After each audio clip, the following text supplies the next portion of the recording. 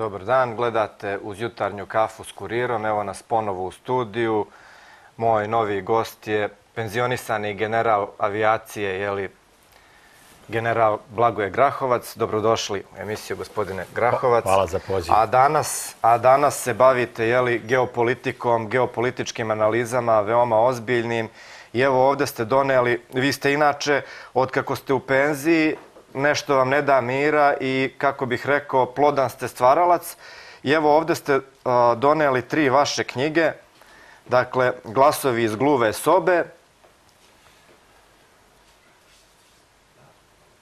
ko je zainteresovan ovako da malo iz, iz drugog ugla i dubinski sagleda ovu našu realnost i posledice neke, nekih odluka, trebalo bi da, da čita knjige generala Grahovca, Banditosi ili ubice država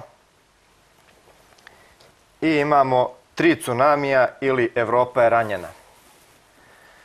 O kakva tri tsunamija vi ovde govorite, generale? Prvo da kažem da e, u ovim knjigama koje su izazvale interesovanja, a negde i buru u regionu... U čitavom regionu, da, da naglasim. E, one govore uglavnom e, o nekom drugom licu, drugačijem licu naših ljudi iz državnih i političkih vlasti, a koje su građanima javnosti nepoznata. O tome ja govorim. A kad imate takvu supoziciju, ljudi koji imaju drugačije ili drugo lice, a javno se predstavljaju u onom prvom, a ono drugo je najčešće lice koje izaziva sukobe, svađe, mržnje, onda su tu štete ogromne. To su dvostruke ličnosti. I e, pišem o ljudima koji imaju biografiju kao teret. Ne samo svoj, nego i teret društava, naroda, država. E, jer njihove biografije naših političara u regionu, ne svih, ali većine, su njihov veliki teret, pa da bi kupili milost za svoje političko preživljavanje, onda počinje sledeća greška i sledeći grijehovi, a to su umiljavanje nekim centrima političke moći za njihovo političko preživljavanje. I nije to samo umiljavanje, nego tu je i lobiranje, ide ogromna količina novca, narodnog novca, novca porezkih obveznika, za njihovo političko preživljavanje. Koga? Dakle, banditosa. Da. Dakle, Kao ti... tsunamija o kojima govorim, eh, dugo, već decenijama ja upozoravam da e, imamo potpuno nov fenomen društvenim procesima ako konstatujemo tri činjenice. Prva činjenica da nikad čovečanstvo nije bilo na ovako visokom tehničko-tehnološkom razvoju i ekonomskom. To je neosporna činjenica. Druga činjenica je da nikad u istoriji ljudskog društva nije bilo manje međudržavnih ratova. I treća činjenica da čovjek, pojedinac, građan nikad u istoriji našoj, novijoj, nije bio tako ugrožen kao što je ugrožen danas, a ne zna od koga je ugrožen. Kad imamo malo onako takve paradokse, onda treba pronaći uzrok. Ne moram ja sada dokazivati nikome, neka svaki, neka svaki građanin za sebe zaključi. A šta ste vi zaključili? Šta je uzrok toga? Uz, uzrok je sistemske prirode. E, upravo su ta tri tsunamija u kojima ja pišem.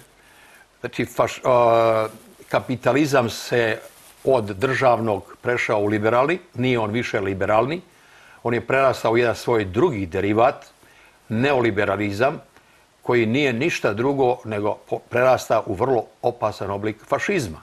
I to je u ovoj knjizi jako dobro obrađeno, parametri po čemu se to dokazuje. I parametri su takvi vrlo egzaktni e, da danas u svijetu imamo već slučajeva visoko referentnih ljudi da počinju čak citirati sve to, u svijetu poznati, govorimo o poznatim ljudima. Znači, čovjek, pojedinac je ugrožen i taj neoliberalizam kao fašizam, čija generika prvenstveno na zapadu, kao tsunami planetom ruši. A u čemu se ogleda taj neoliberalizam čisto zbog gledalaca da njima bude jasnije? Ako, recimo, konstatujemo da manje od 1% čovečanstva ima preko 90% ukupno bogatstva svjetskog. Ako 47 multinacionalnih kompanija imaju 40% svjetskog GDP-a, ako broj stanovnika koji, se, koji živi od 2 dolara dnevno porastao je sa 2,5 milijarde na 2,7, znači raste broj siromašnih. Ako svaku noć jedna milijarda ljudi na planeti legne gladna, ako 40, u zadnjih 40 godina jedna milijarda ljudi je ostala bez zaposlenja samo po osnovu robotizacije i automatizacije. Druga milijarda će ostati od 2010. do 2030.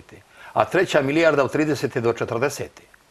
Ako 1800 multimilijardera imaju e, preko 8% svjetskog GDP-a. Ako četiri najbogatija čovjeka imaju više bogatstva nego 57 država svijeta, članica Ujedinjenih nacija. I kad ogledate to u kontekstu da se formiralo jedno fatalno trojstvo koje, su, koje je postalo nadnacionalne, naddržavne ni faktor ili centri moći. A to fatalno trojstvo je sprega nedemokratskih režima, pojedinih multinacionalnih kompanija i mafija kao vojske organizovanog kriminala i korupcije. I to su centri moći danas na planeti. I ti centri moći su uradili dvije stvari najprije važne. Prva stvar, države treba istirati sa tržišta. To znači tržište će biti njihovo. Druga stvar, partijama ne treba ideologija, nego je interes, interes, samo interes. Pa su nam zato partije postale... E, Interesne grupe. E, boga mi neću reći centri, nego sredine nemorala. A možete zamisliti kad takve vrše vlast. Što znači nama se nemoral uselio u e, institucije, činioce koje drže vlast. Iako je recimo ta brza globalizacija učinila jurnjavu za informacijom, važnija od gladi, od hljeba.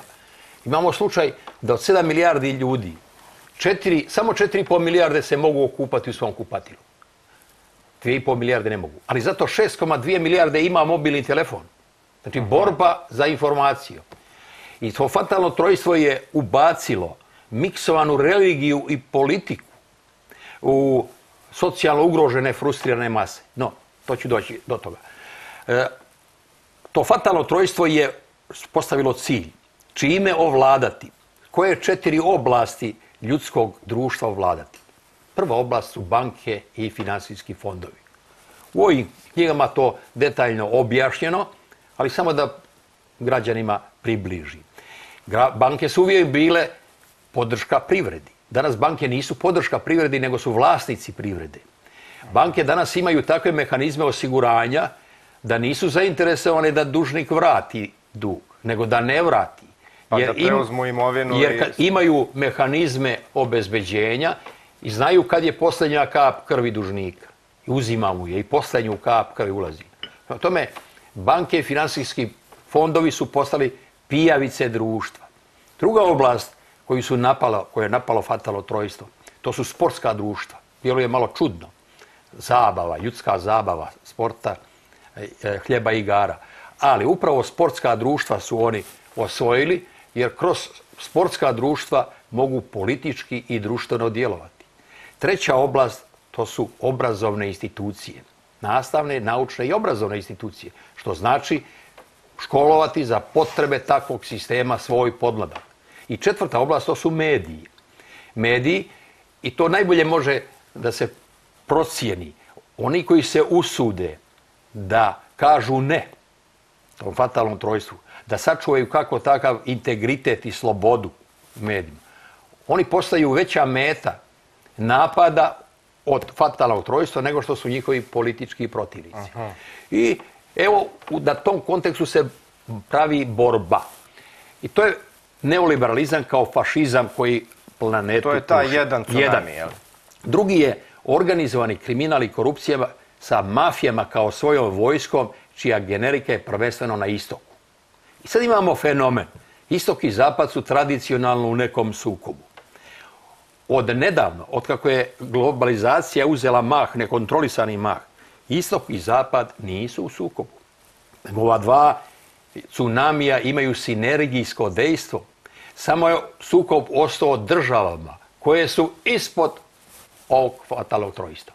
One su niži nivo države. Država se ubacuje koska za svađu i zavađu. I ova dva tsunamija su utrčala na jug, prvenstveno afrički dio, u socijalno ugroženu, frustriranu masu. Ubačena miksovana religija i politika, a socijalno ugroženom populusu e, politika i religija je opiju. I upravo to se desilo, izrodilo naoružani fanatizam sa juga koji nam dolazi s juga. Najčešće se kaže religijski. Da, ima komponentu religijsku, ali je njegova geneza prvenstveno u socijalno ugroženoj masi, odnosno socijalne prirode. I sad imamo ta tri tsunamija koja ruše planetu. Evropa je prva žrtva, ukliještena oko toga i moja teza koju godinama zagovaram, e, apelujući, upućujući e, na ove probleme koji su je sada vidljivi, a prije 15 godina kad sam o tome pisao, naravno, postoji još pet knjiga prije ovih, gdje je Deli Pres izdao, ovo je izdala Laguna. E, to bilo tada futuristički, čak i nerealno. Danas je to stvarnost, Stvarnost. no u ovoj knjizi Tri tsunamija, zadnje poglavlje kako dalje, kako izaći iz svega toga, da ne širim, u ovim knjigama se mogu naći, e, naći odgovor kako riješiti. I pošto je Europa ukliještena, a bez Europe, evropske civilizacije i evropskih vrijednosti, neka niko ne gaji iluzije da se može sjeverna hemisfera očuvati. I zato ja postavljam tezu bez američko, evropsko, ruskog partnerstva na novim osnovama sjeverna hemisfera, a time i čitava planeta je sigurno može biti izrazito ugrožena. Sljedeću tezu koju postavljam i objašnjavam ovim knjigama, koja se sada već počinje lako može i dokazivati, a to je Balkan je kroz istoriju bio uzrokom i povodom mnogih europskih problema. Balkan će u budućnosti biti štit Europe. To ne treba ima dilemu, u tim knjigama je objašnjeno kako. A od čega štit? Štit od svih ova tri tsunamija. Aha. Od ova tri tsunamija, štit Europe, a u tom štitu opet djeluje futuristički, za sada još mnogim glavama nerealno, ali to će biti skora realnost. Ako Evo samo imamo uključenje, zapamtit ćemo gdje smo, Da, da. gdje smo stali da vidimo šta građani kažu. Dobar dan, izvolite. Dobar dan, gospodine. Izvolite. Moje Odakle se dužno poštovanje vama i vašem gostu. Hvala. Da vas nešto zamolim. Neki knjaz Miloš, pred 200 godina, nepismen, umeo da klekne pred e, višom silom i da spasi mnoge srpske glave. Ko je nas uveo, koja kombinacija političkih lidera nas je uvela u rat? Nemojmo da se zavaravamo da je moglo i nije moglo, moglo i nije moglo. Moglo je da se spasi ova katastrofa. Ova zemlja, posebno Kosovo i Metohija, posebno ovaj deo Srbije, posebno Bosna i Hercegovina je napunjena radijacijom. Ovaj narod na ovom prostoru u dogledno vreme mora da izumre. Vreme raspadanja uranijuma 285 je neograničeno, možda milion, pominju se mnoge godine. Jel imate konkretno pitanje za, za gosta? E, ja sam čitao njegove knjige i sa zadovoljstvom ovo pričam da bi on ovaj, nešto od toga ugradio u svojim materijalima u budućim knjigama. Jedan vrlo bitan paradoks. Mnogi manipulišu da je Vučić dobio 55% glasova. Molim vas, treba znati, ja imam tri više matematike, da je izašlo za njega glasalo 2 miliona. To je 25% ukupnog stanovništva ove zemlje. On je sa koalicijnim partnerima da ih ne nabrajam sve koliko ih ima, dobio, on je dobio ispod 25% sa partnerima, za sebe da ne govorim nema ni 10%. Prema tome, nemoj da mašemo sa nekim stvarima i da ga upoređujemo, ja nemam ništa protiv da se diskutuje o Mašalu i ovako i onako Titu. Hvala Ali. On Hvala gospodine na javljanju, ali evo da dopustimo i gostu malo da predstavi ove tri knjige, pošto ima tu dosta, dosta priče i dosta nekih stvari koje će biti korisne da nam se objasne. E, Da, e, sekundarno je knjige i prodaja knjiga, primarno je kako pomiriti region. To je e, moja preokupacija, ne da ja to uradim, nego da možda ponešto kažem da građani prepoznaju. Ajmo vratimo se i konkretnom pojašnjenju. Rekoh da će Balkan biti štit Evrope, a u tom štitu srpsko-hrvatsko prijateljstvo i srpsko-albansko prijateljstvo će biti noseća greda balkanskog štita. Da li je to moguće? Da. E, to vjerovatno još ne prepoznaju mnogi i Srbi i Hrvati i Albanci, ali to prepoznaje danas Evropa ljudi koji se bave ozbiljno geopolitikom i geopolitičkim procesima i kako dalje.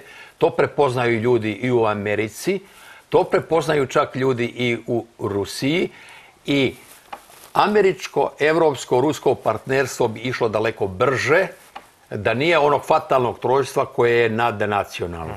Evo samo jedan parametar iz regiona kako da prepoznamo to.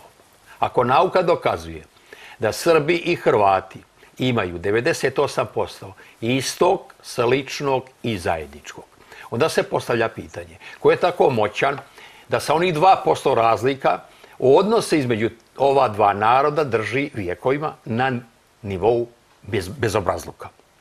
Ko je to? Geopolitika geopolitički igrači. Srbi i Albanci sve su probali do sada u odnosima svojim. Malo je šta dalo rezultat. Ponajbolje to bilo u drugoj Jugoslaviji. E, malo je šta dalo rezultat. Srbi i Albanci nisu još nikada probali jednu stvar. Prijateljstvo. Kad budu probali prijateljstvo, onda će se pronaći rešenje i za jedne i za druge i u Srbiji i na Kosovu i Albaniji i u Crnoj Gori vezano za odnose Srba i Albanaca. I zato, pošto to prepoznaju, neko drugi to bolje prepoznaje, ovo će biti stvarnost i realnost. I ne bude li to, e, onda nama na, u regionu opstanka nema. Ukoliko Srbija i Hrvatska ne budu čuvale kao oko u glavi Bosnu i Hercegovinu, državu Bosnu i Hercegovinu, Naravno, preuređena u drugčije, bit će preuređena drugčije i Srbija, i Hrvatska, i Crna Gora. Neće više moć biti moć na jednom mjestu. Morat će se razvlastiti Beograd, decentralizovati. Morat će biti i u e, Crnoj Travi jednako vlasti za građanina kao u Beogradu. To je suština, to se ne razumije. Decentralizacija. Decentralizacija. Morat će, se, morat će Busovača imati jednako vlasti građani Busovače kao onaj u Sarajevu. I tako redom. To se kod nas E, ne razumije zato što političke vlastele kod nas podgrijavaju neprekidno ratnu retoriku jer jedino je to mehanizam koji im je ostao da vladaju. I sad se vratim da čuvaju Bosnu i Hercegovinu, Srbija i Hrvatska. Ukoliko Srbija i Hrvatska ne budu čuvale Bosnu i Hercegovinu kao oko, pojavit će se neki tutor koji će željeti da čuva Bosnu i Hercegovinu. Pretpostavljamo ili znamo iz kojih meridijana, iz kojih paralela bi došao taj tutor koji bi želio da čuva Bosnu i Hercegovinu. To je sigurno onaj koji bi htio ubaciti minu u evropske vrijednosti i evropsku civilizaciju. Tada ne sačuvali Bosnu i Hercegovinu, Srbija i Hrvatska, neće sačuvati ni sebe. To je u geopolitici formula, a formula u geopolitici je još jedna da se ne zaluta. Ostani tamo gdje geografski civilizacijski pripadaš. Gdje mi pripadamo? Europi.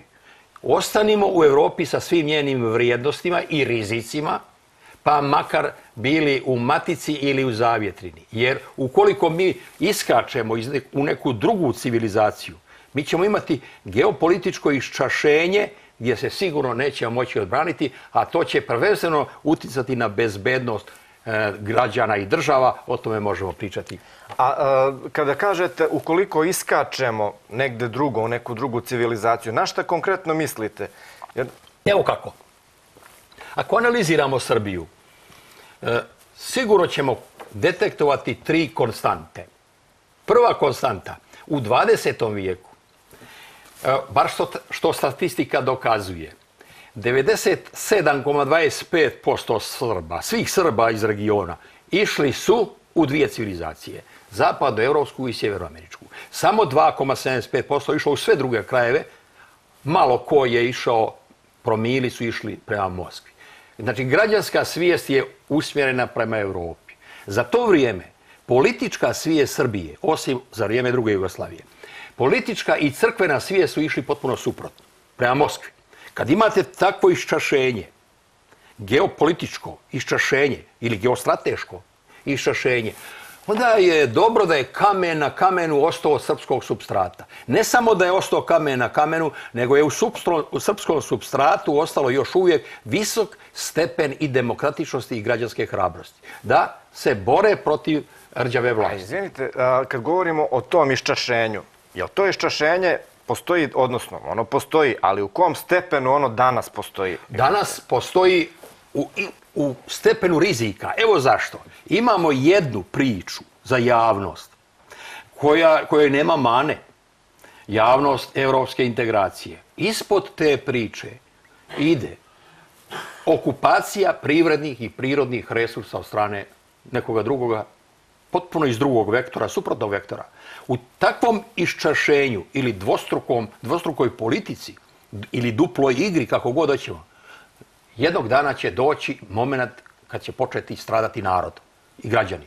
To političari naši, upravo zbog rđavih biografija, zbog čega se moraju udvarati političkim centrima moći, prvenstveno na zapadu, igraju duplu igru, a duša i srce im negdje na drugo. Znači, prvu konstantu sam rekao, kud to građanska svijest Srbije ide. Druga konstanta e, Srbije. Srbija je poligon vjekovima ili decenijama u zadnjim. Ruske mitomanije i crnogorske mafije. Poligon. A ukoliko se Srbija iz tih čeljusti ne izvuče, njoj spasa nema. Ako samo analizirate crnogorsku dijasporu u Srbiji, možemo konstatovati sigurno četiri grupe. Prva grupa, to su intelektualci crnogorci koji žive u Srbiji, prvenstveno u Beogradu, koje bi poželjela svaka država da ih ima. Takve intelektualci u svim e, oblastima. Ponosni na svoje porijeklo crnogorsko, lojalni građani državi Crnoj Gori, ponos svakom. Druga grupacija, to je potomstvo svih crnogorskih kolonizacija u Srbiji. Genetski materijal u strateškim razmerama, onaj ko strateški u državi razmišlja, bogom dan. Treća grupa, crnogorska mafija u Srbiji. Četvrta, crnogorska kukavica i tužbalica u Srbiji. Kad ta kukavica i tužbalica zatuži u Beogradu, e, ili se vata gusle ili puška. Nema šta drugo, treće se uvatiti. I sad fenomen. Ako analiziramo s kim to druguje vlast i Beograda i Podgorice, nikad nije drugovala sa ovom prvom i drugom grupom. Ali zato je uvijek šurovala sa trećom i S ovim četvrtom. guslarima i... I mafijašima. I mafijašima. Uvijek se šurovala. S ovima ne druguje, ali zato s ovima šuruje. Šta iz toga izlazi? Šteta. Neminovna šteta. I treća konstanta za Srbiju. Ako analiziramo, Srbija je kroz istoriju uvijek bila ili razarana ratovima s polja, ili pokradena u miru iznutra.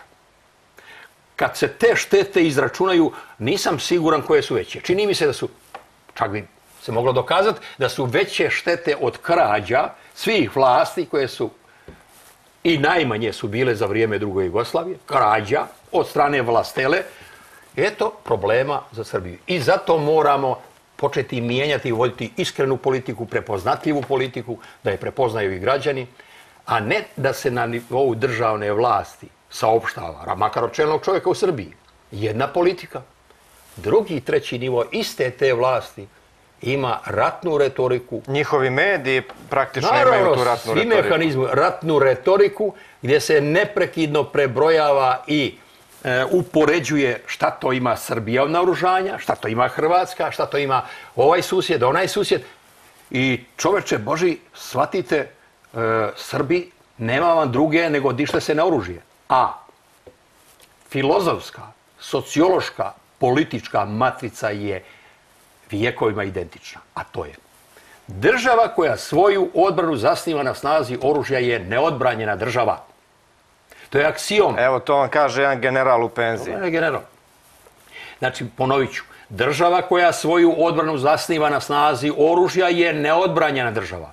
Odbranjena je ona država koja svoju odbranu, odbranu zasniva na snazi prijateljstva i dobrosusjedstva sa svim svojim susjedima, a nakon toga šire. E, partnerstvo i prijateljstvo šire. Šta mi imamo u odnosima između susjeda? Ajmo, pošto smo ovdje u Beogradu, da analiziramo Srbiju. Nema mane politici čelnog čovjeka. Ali, tu politiku provodi drugi, treći, četvrti nivo iste te vlasti. Potpuno je suprotno. Pa ako poslanik e, u Skupštini Srbije, a novinar, nekog uglednog lista, neprekidno prebrojava oružje i topove i tenkove i kamione i avione i upoređuje ljudi moji, je li moguće da ta državna politika drži takve ljude ne samo e, ne u, parlamentu. To je jezivo da ih drži igde blizu medija.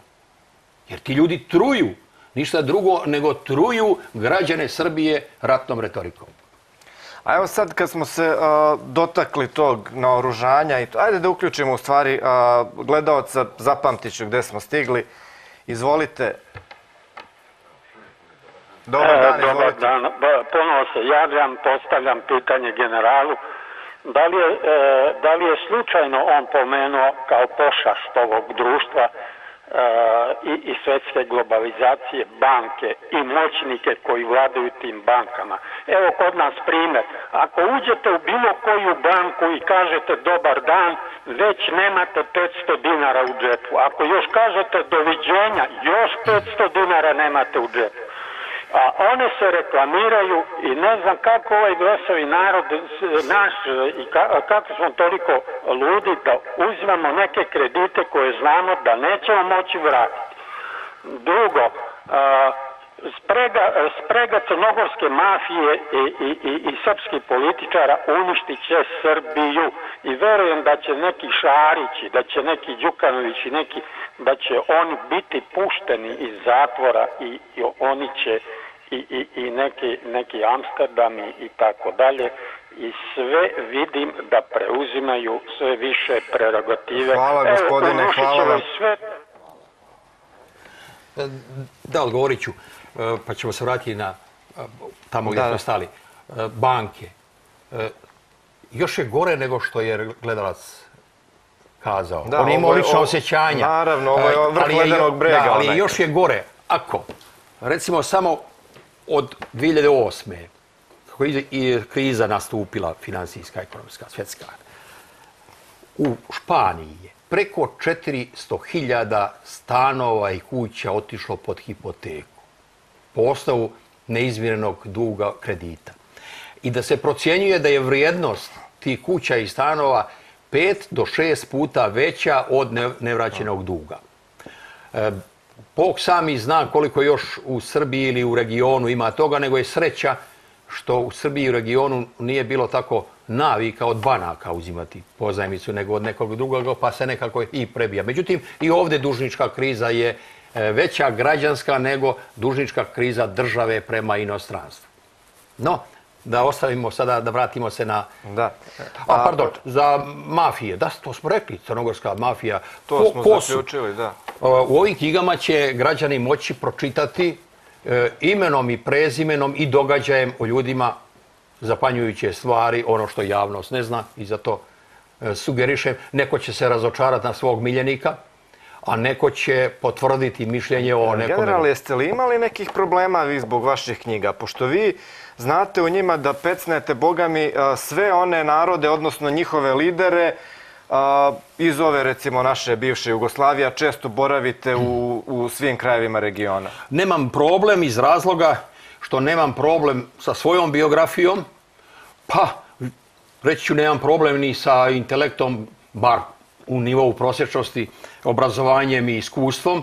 Nemam nikakav problem sa principima, neću odustati nikad e, od borbe za pravo i pravdu. Sugerišem ljudima, akademskoj zajednici, e, moraju se intelektualci izvući iz grupacije režimlija, moraju intelektualci početi ukazivati na to Da jer budu korektivni faktori, jednostavno. jer ako intelektualci to ne rade i mediji, onda budite ubijeđeni građani, vaši potomci će ući u rizik. Zato je potrebno mi da ulazimo u rizik, da ne bi ulazilo potomstvo i mlađi. A što se tiče straha, ja to, eto, služba ili profesija kojom sam se bavio pilotskom, možda sam utrnuo što se tiče straha, e, pa nemam problem. Ja nemam problem, moj dom je ja imam moj dom u Beogradu, moj dom u Podgorici, moj dom u Nevesinju, ključ od mog doma, e, svakog mog doma, moj dom gdje god dođem, ja da dođem sada u Austriju, Austrija će biti moja voljena država, zašto? Učinit ću sve da je čuvam, Zato što će ona mene da sačuva. Da odem u Švedsku, isto ću se tako ponašati. To ljudi malo ne razumiju, nego kaže Srbija, Srbija, Srbija i samo Srbija. Da, moj dom u Srbiji. Kako da ne, voljena Srbija. E, ali, nije ona jedina obsesija čoveku. Spasa nema Srbije ako mi ne sačuvamo regionalni mir. To ljudi ne razumiju. Regionalni se mir mora sačuvati da bi onda imali Srbiju, voljenu Srbiju, voljenu Crnu Goru, voljenu BH. I ovo oko odbrane. Ponovo da se vratim na odbranu. Nisu danas vojni rizici ti koji su prioritetni. Ne. Nego su nevojni izazovi rizici danas najveći izazov. Mogu li nama u tome, u odbrani od tih nevojnih rizika, na primjer, evo vi ste bili pilot Jugoslovenskog ratnog vazduhoplovstva, a mogu li nama tu da pomognu uopšte ovi migovi koji navodno treba sad da stignu iz Rusije? E, nedavno je list danas objavio moj tekst pod naslovom Migovi, Kolinda i Aleksandar, koji je objasnio i politiku i struku. A evo sad ću e, gledalcima kratko. Sve ovo oko migova je politički promašaj i vojno-stručni promašaj. Sad će biti jeza, naježit će se patriote, takozvane patriote. Mm, Patriota je onaj koji, svojoj, koji svoju državu čuva sa onim svim što je on u stanju da uradi, da li rukom, glavom, pameću. Evo kako je to glupost. Promašaj potpuno. E, u PVO, protiv vazdušne odbrane, da bi se država branila od uljeza, figurativno ću ga zvati uljez, nenajavljen Da, da. avion, od uljeza. Imaju tri stvari neophodne. Prvo treba uljeza otkriti, radarski otkriti. Pa uljeza treba detektovati. Koji je? Je li avion, je li balon, je li... Pa uljeza, prema uljezu treba preduzeti neku radnju. A ta radnja borbena je prestresti ga, istjerati ga iz vazdušnog prostora, ili ga prisiliti da sleti tamo gdje ja hoću, a ne gdje on hoće, ili ga oboriti. I sve to treba raditi po uzusima međunarodnog prava, do, i domaćeg prava, i po uzusima struke. Ajmo sada i laički da saberemo sva vremena koja sam ja nabrojao. Doćemo do zaključka. Srbija, koja je najveća teritorijalno eksiju država, vrijeme koje je potrebno uljezu da napravi zlonamjernu radnju je daleko kraće nego kad saberemo sva ova vremena. Šta to znači? Znači da Srbija nema vazdušni prostor, teritorijalni prostor takvih dimenzija da može sve ovo da uradi i da zaštiti. Mi da bismo ga znači detektovali, on je već ušao unutra. No, i- gledajte dalje. Sad će možda likovati neka druga država susjedna koja baš i ne ljubi toliko Srbiju i srpsku vlast. Neka se ne likuje niko, jer sve eksiju države su u gorem problemu. Po svim ovim parametrima. Šta je rešenje? Rešenje je u gradnji zajedničkog sistema kontrole vazdušnog prostora. A šta, ja ću vrlo jednostavno pojednostaviti, ali onaj ko se usudi da sa, sa mnom debatuje na ovu temu, prihvatam i javnu debatu.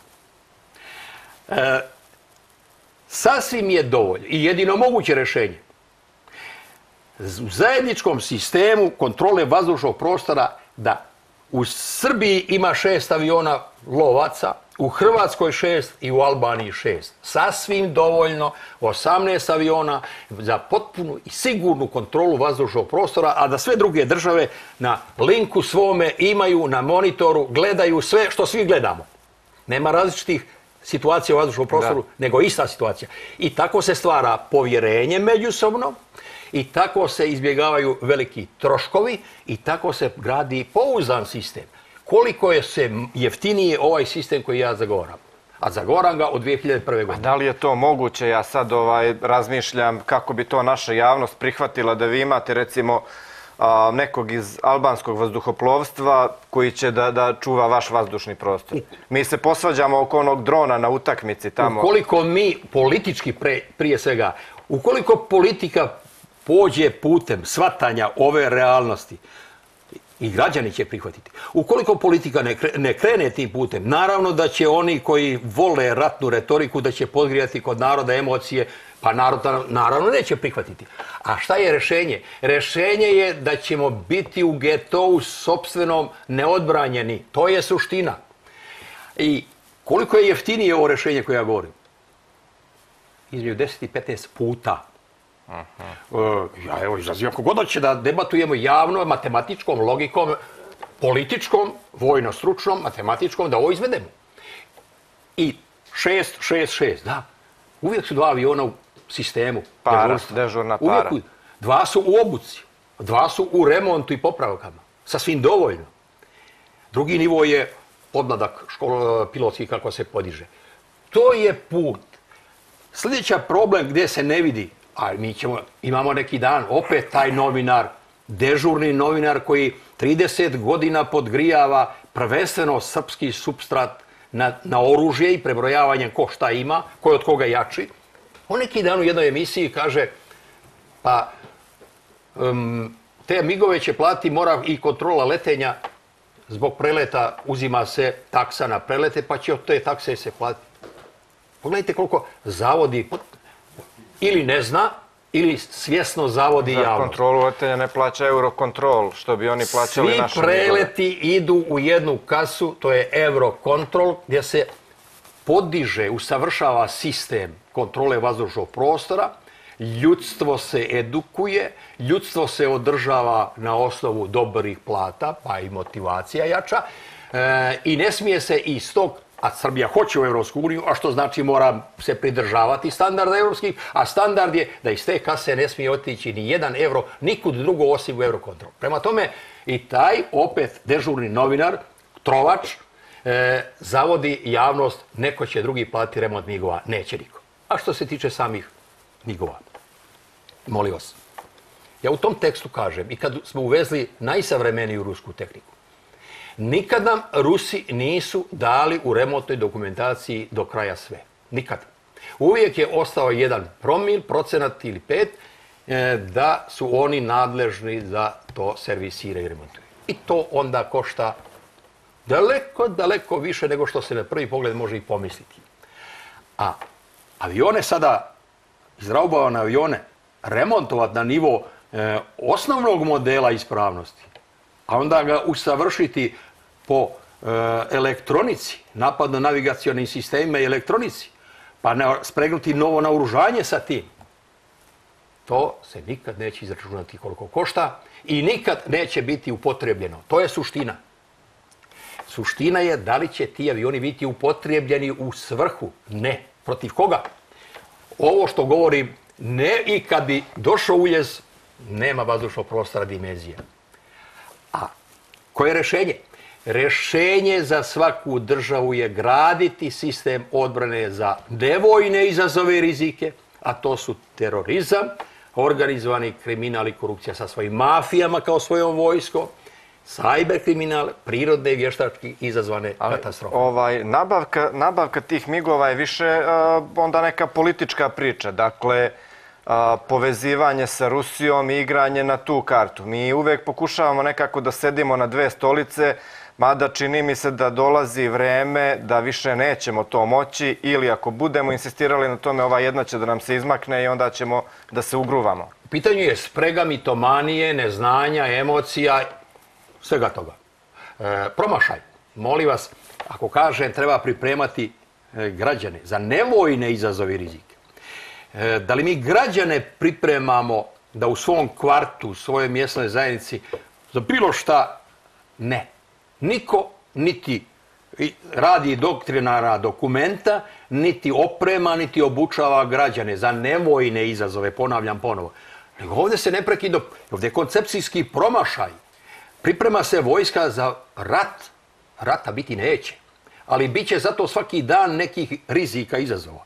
Nisam slučajno ona tri tsunamija, pa Da, da, da, je imigrantsku krizu. Kad sam, e, molim vas, na jednom međunarodnom skupu, naučnom skupu, 2003. 4. godine iznosio migrantski problem će biti za Europu problem. Kad sam tada iznosio Grčka kao europski problem finansijski, e, mnogi su i razmišljali ovaj sa ovim generalom nešto nije u redu. Pa posle toga kad se pojavila Grčka kao finansijski problem kriza, pa kad se pojavila migrantska kriza, onda počinje se razmišljati, oj, pratimo se mi teorijama koje su se nekada izučavale na visokim, najvišim vojnim školama i nigdje drugo kako pripremati društvo, građanstvo i državu za izazove i rizike. Evo da čujemo još nekog od gledalaca. Dobar dan, izvolite. Dobar dan, javljam se iz Beograda. Pozdravljam generala i cenim ga samo zato što je bio general JNA. Ovaj, e, tamo se najviše školovao i najviše naučio. A on što kaže sad da bi trebalo ova tri, e, ne, da se uje, da strateški razgovaraju Srbija, Hrvatska i Albanija, to je nemoguće na, na toj osnovi zato što smo bili zajedno, zato smo se i raspali. I nije uzeo tu faktor religijski.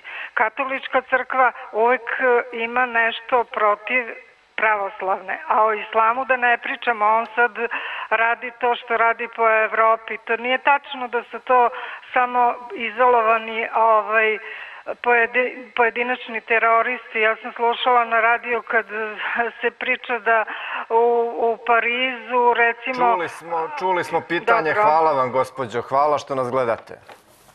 Pazite, dobro je na načela e, jedno pitanje.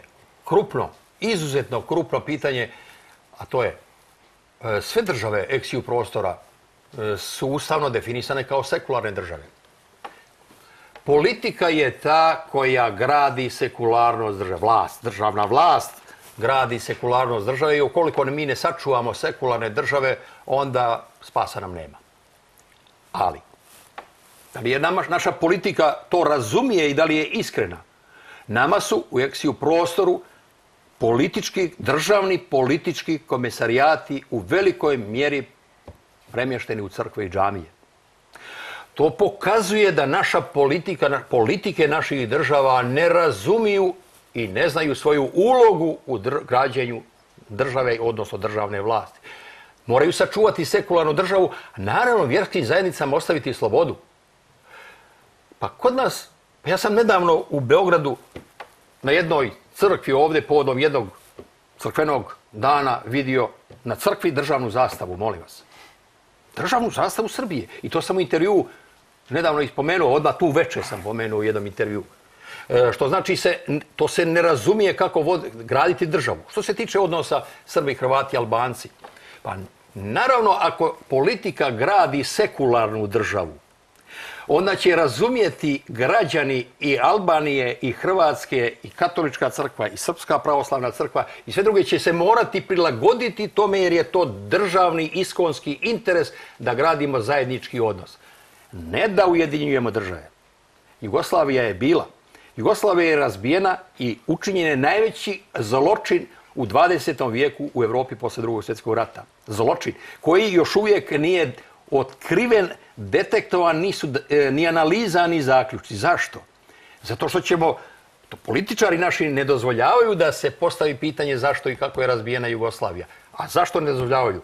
Zato što ćemo odmah detektovati da razbijači, mnogi od razbijača su danas u vlastima eksiju država. Zato se to ne dozvoljava. Pa i kod nas, jel? Naravno, naravno razbijači, oni lično ili njihove političke partije, to je ta nesretna biografija kao teret. I sad vratimo se ponovo, da li će musliman, katolik, pravoslavac razumijeti da mi imamo zajedničku kontrolu vazdušnog prostora. Pa ad hoc neće, to je sigurno. Ali ako politika, politika i državne vlasti objasne šta je to, interes, cilj, imamo jedan sistem zajednički, a svi vidimo sve, nema prevare. Pa interes prvo je građanina da ide u tom pravcu jer će to manje koštati, enormno manje puta.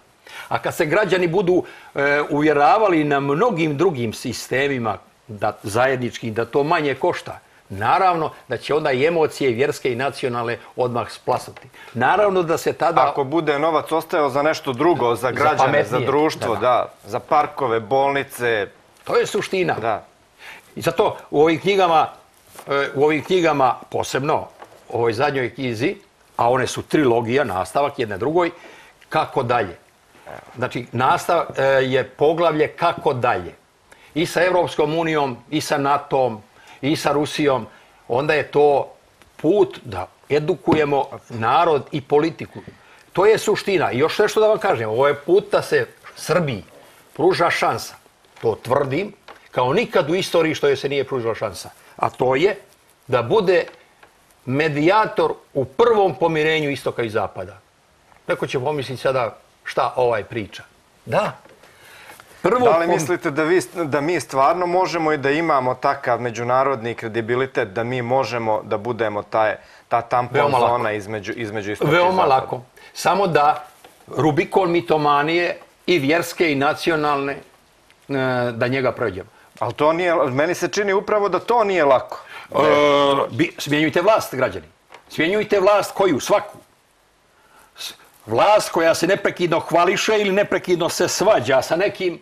Ja da sam novinar, ja bih vas za Vučića pitao na koga ste mislili.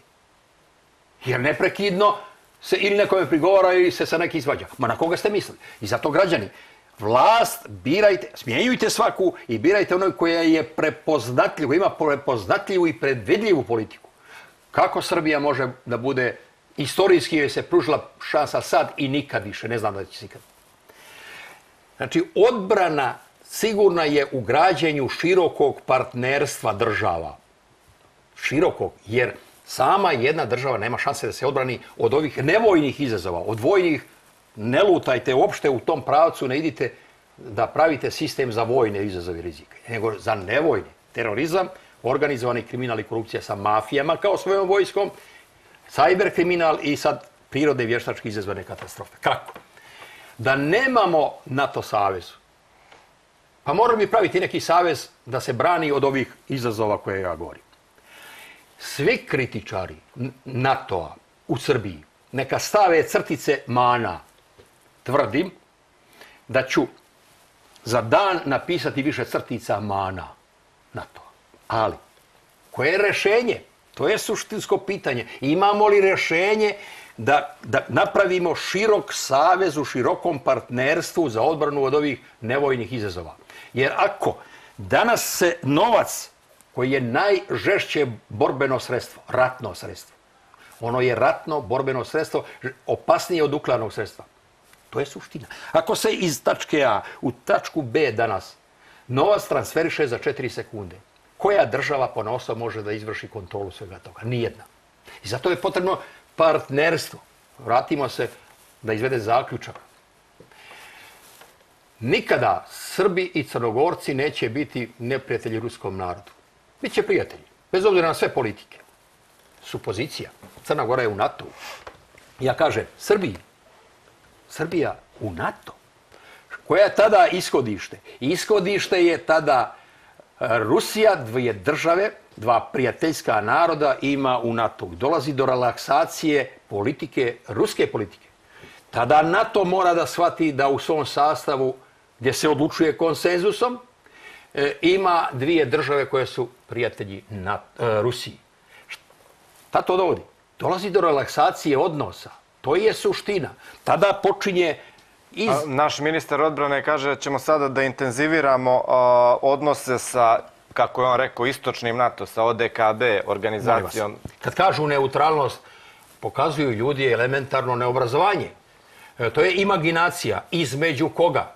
Neutralnost se definiše između subjekata. Onda to podrazumijeva da vidimo mi koji su subjekti, državno-politički subjekti na jednoj strani i državno-politički subjekti na drugoj strani između kojih će se biti neutralan. To je jedno. Drugo, ko će garantovati tu neutralnost između subjekata i ko će na nivou međunarodne zajednice. Imaginacija i zavaravanje građana, prosipanje magle. To je suština. Da. Dakle, nema nikakve priče u vezi sa tim istočnim NATO, to je nemoguće, pogotovo što smo mi sada okruženi NATO članicama. Ako mi iskočimo u, u neku drugu Samo- organizaciju, bit ćemo suprotstavljeni potpuno. Samo dinamit stavljamo u sopstvene temelje. To je suština. Stavljamo dinamit u sopstvene temelje. Ja sam zagovornik u ovoj knjizi o, koje su potrebe. Nova politika Srbije, četiri elementa te nove pot- politike. Ali samo ću prva dva. E, Srbija u NATO bez alternative zbog ovog što sam objasnio. Drugo, Srbija da usvoji standarde Europske unije bez alternative. Ali, kad ih usvoji, jer tada vladavina prava i demokratija su već tu, stanimo sa ulaskom u Europsku uniju. Zašto? Ko zna koliko godina daleko prije nego Brexit što se desi, objašnjavam da će Evropska unija biti više prstenasta ili više slojna. U ovoj knjizi objašnjavam, dokazujem i to će biti, to ne treba imati dilemu. Ona će biti sastavljena od klubova, od više klubova. Prvi klub, šest država osnivača Evropske unije. Drugi klub, one koje su ušle u Evropsku uniju do zaključno sa 2003. godinom. Pardon, i plus Hrvatska, 13. godina. E, pardon, pardon. Treći klub, e, drugi klub, oni koji su e, primljeni do 2003. Treći klub, 2003. do 13. Jer kad su ušle 10 država 2003. godine, šta se je desilo sa Europskom unijom?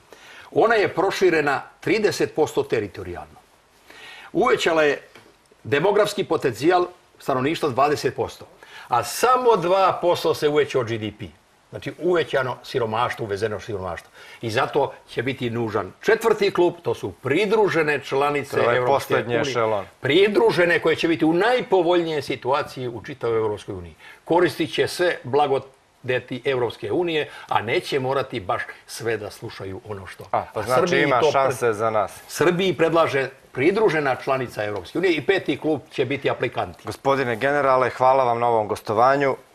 Nadam se, nadam se da ćemo još imati prilike da razgovaramo nekim drugim povodom. A ovo je bilo sve za danas. Vidimo se sutra, a vi sada pogledajte vesti.